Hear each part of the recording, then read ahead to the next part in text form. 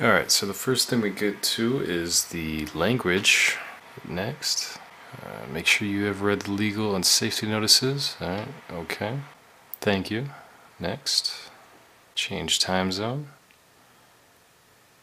California, we're at Pacific time. Your device is configured to set the clock automatically as soon as it connects to the internet. That's correct. Next, let's go ahead and connect to my Wi-Fi.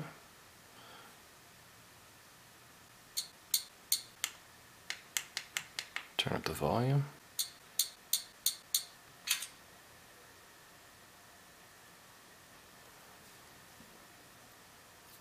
Next, Google's location service. Use Wi-Fi mobile networks to determine my location. Agree.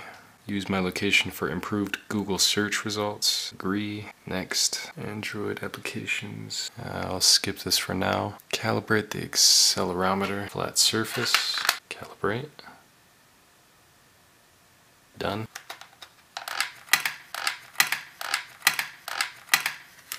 Next, activate the in-store demo mode only if you want to use this device as a display unit in a store. Don't want to do that. Setup is finished. Hit OK.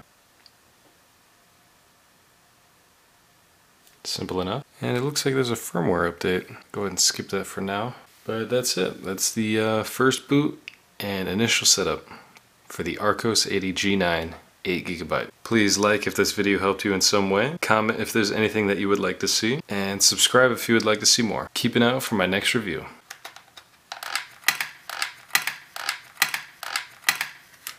Next.